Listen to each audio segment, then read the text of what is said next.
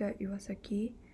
Um, I made the programming about building my own virtual self-driving car.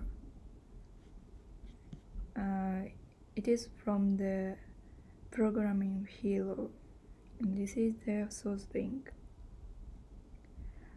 Um, this is the whole code and then this is to define the size of the car like 30 or 60 and then clock is to slow down the car speed. And then from while drive to at the end I teach the car how to turn right or turn left and go up and go down so when I learn it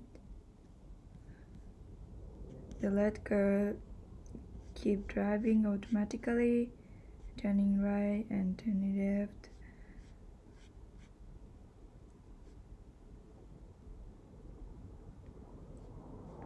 And then when it reached at the end red zone it stopped automatically so that it thank you